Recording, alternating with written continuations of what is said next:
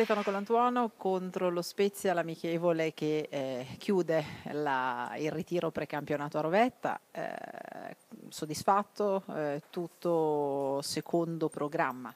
Sì, direi di sì, insomma, grosse sorprese non ce ne sono state, il lavoro è stato intenso, importante, abbiamo lavorato, abbiamo fatto delle partite, direi che siamo andati discretamente bene per il momento attuale, abbiamo fatto credo sette amichevoli finora, non abbiamo mai subito gol, questo è già indicativo di qualcosa e continuiamo senza fare voli pindarici perché sapete benissimo che al calcio d'agosto do uh, rilevanza zero, ci serve solo per mettere i minuti nelle gambe, per far conoscere ai nuovi arrivati quelle che sono le nostre idee, il nostro calcio e, e basta.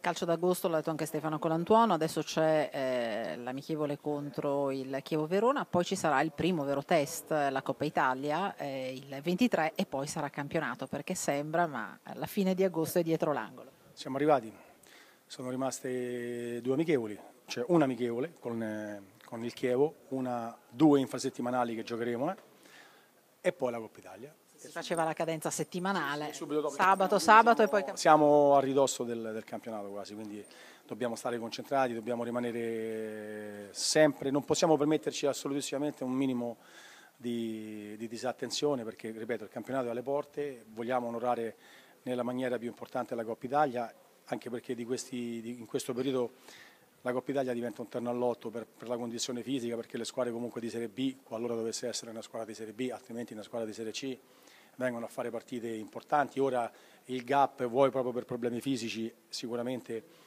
eh, non è così grande, quindi dobbiamo stare attenti. Noi ci teniamo alla Coppa Italia, vogliamo partire bene, sfrutteremo queste amichevoli per, per lavorare e per fare una partenza degna di nota, speriamo.